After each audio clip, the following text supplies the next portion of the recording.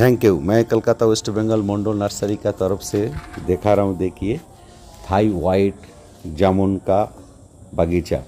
इसमें देखिए कितना अच्छा फल आया है। बहुत आदमी बोल, बताता है फल कब आएगा भैया?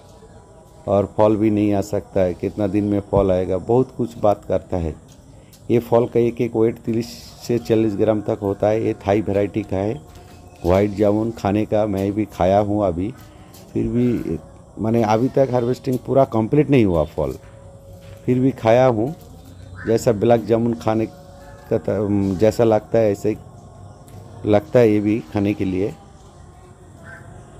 ऐसा ही स्वाद लगता है इसका खाने के लिए, ब्लैक जामुन का तरह। तो ऐसा ये तीन ढाई तीन साल का हो गया। तो एक एक पेड़ में बहुत अच्छा फल आया, बहुत फल आया, लेकिन स्प्रे ज़्यादा नहीं करने का बजाय और बारिश ज़्यादा होने का बजाय थोड़ा फल ख़राब हो जाता है और कुछ नहीं है। जैसा ये महाराष्ट्र का महाराष्ट्र में खेती करने के लिए बहुत अच्छा होगा अंदरा में हम्म, गुजरात में यूपी में ज़्यादा जिधर ज़्यादा बारिश नहीं होता है। मेरा इधर कब क्या होता है जब बारिश चालू होता है वेस्ट बंगाल में बारिश ही होता है चार पाँच महीने छः महीने तक हर दिन बारिश होता है। तो उसका पौधा मैंने भी ऑल इंडिया सप्लाई किया हूँ व कर रहा हूँ। लेकिन इसका पौधा इतना ज़्यादा अवेलेबल नहीं है।